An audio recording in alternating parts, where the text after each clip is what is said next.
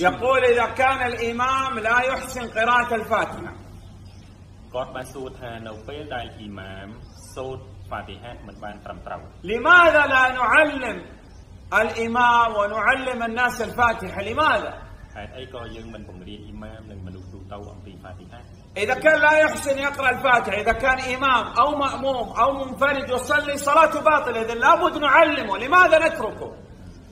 កាលណាអ៊ីម៉ាមឬក៏អ្នកសម្បះយ៉ាងម្នាក់ឯងឬម៉ាក់មុំអីទាំងអស់គ្នាសូត្រហ្វាទីហាអត់ត្រូវ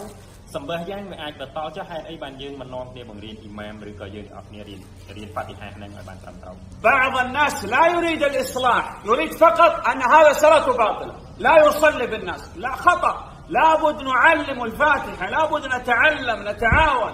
អ្នកខ្លះគឺបានតែត្រឹមចង់បែកបាក់គាត់តែឃើញគេសូត្រអត់ត្រូវហោះបែកអាហ្នឹងបែកយ៉ាងវាអត់ត្រូវគឺយើងអត់តាម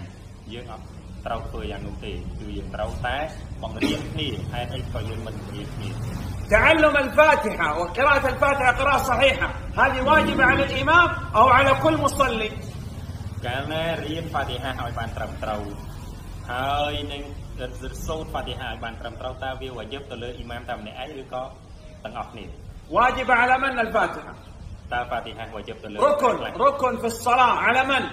តើរុកុននៅក្នុងសម្បះយ៉ាងវាយឹបទៅលើអ៊ីម៉ាមឬក៏ម៉ាក់មុំដែរ كل مسلم ទាំងអស់អ្នកអ៊ីស្លាម إذا لابد كلنا نتعلم قراءة الفاتحة قراءة صحيحة អញ្ចឹងយើងទាំងអស់គ្នាត្រូវតែរៀនហ្វាទីហាហ្នឹងដើម្បីឲ្យបានសូត្រនឹងសូត្រឲ្យបានត្រឹមត្រូវ